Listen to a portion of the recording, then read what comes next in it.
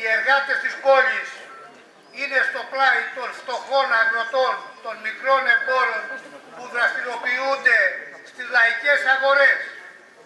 Πάρτε όμως υπόψη σας το εξής, ότι και αυτό το νομοσχέδιο είναι απόρρια της πολιτικής της Ευρωπαϊκής Ένωσης.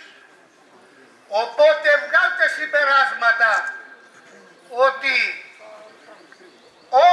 όλα κρίνονται από εκεί και οι κυβερνήσεις που είναι σήμερα, που θα είναι αύριο, που ήσατε εχθές, υλοποιούν αυτές τις αποφάσεις. Τις αποφάσεις Ευρωπαϊκής Ένωσης που συνθλίβουν δικαιώματα και κατακτήσεις. Δηλαδή,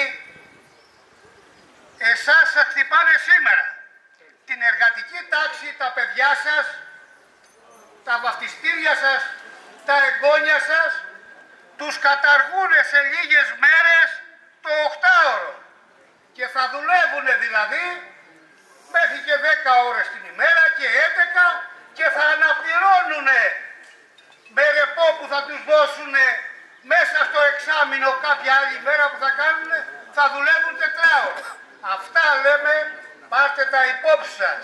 Γιατί εμείς δεν ερχόμαστε εδώ μόνο να σας χτυπάμε την πλάτη, πρέπει να σας λέμε και τους υπέτειους για αυτή την εξέλιξη που πλήττει τη φτωχολογιά, την εργατική τάξη και εσάς.